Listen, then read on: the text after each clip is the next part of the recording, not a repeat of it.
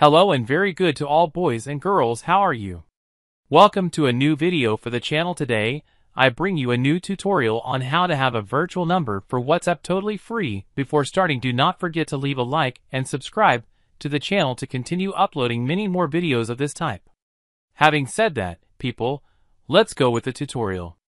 Once we are here on our mobile, we go to Safari and look for SMS Read here, we click on Go, and here people, we have to go down to find this page that you are seeing, where two messages appear in the logo, one blue and the other yellow. We click on it, and here, as you can see, this will appear.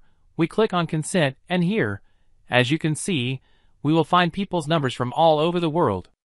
The countries which we will be able to use, whether it is Spain, the United States, Canada, Germany, or the United Kingdom, you can use the numbers of all these countries, if for example we want one from Spain, we come here and click on open and here people, we are going to close this announcement, we will be seeing all the messages that arrived to this mobile as you are seeing one just arrived 2 minutes ago, 2 minutes ago, 4 minutes ago, etc etc.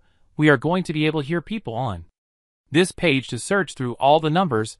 I recommend that you go down well to find the best ones, and that you try to see what how does it work for you, because as you are seeing there are all regions, and from all countries here you can investigate if you want to become members etc etc and nothing here. The only thing we have to do is choose a number and start using it and enjoying it. So I hope that if you liked the video don't forget to leave a like subscribe and see you next time.